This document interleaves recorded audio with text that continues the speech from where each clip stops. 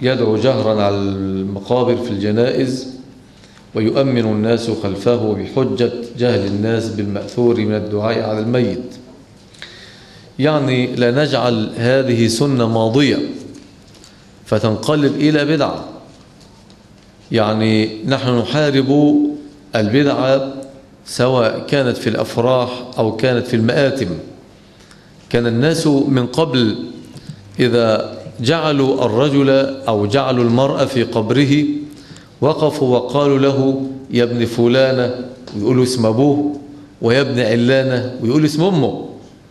اعلم أن هذا آخر يوم لك في الدنيا وأول يوم في الآخرة وأنه سيأتيك ملكان أزرقان أسودان يجلسانك ثم يسألانك فيقول لك من ربي؟ فقل ربي الله.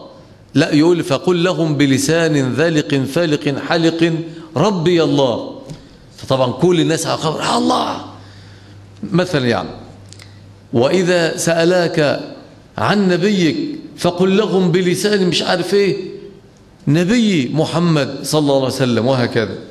هذه البدع النكراء حاربناها كثيرا وأظن أن بلادا كثيرة وفقها الله تعالى إلى ترك هذه البدع فأرادوا أن يستبدلوها بماذا؟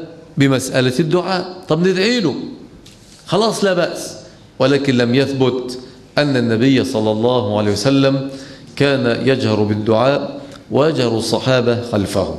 لكن من فعل ذلك مرة ثم فوت مرات لا بأس في ذلك الأمر. أخشى من ديمومة هذه الأشياء حتى لا تكون سنة ماضية لا سيما إذا فعلها من؟ المتسننون.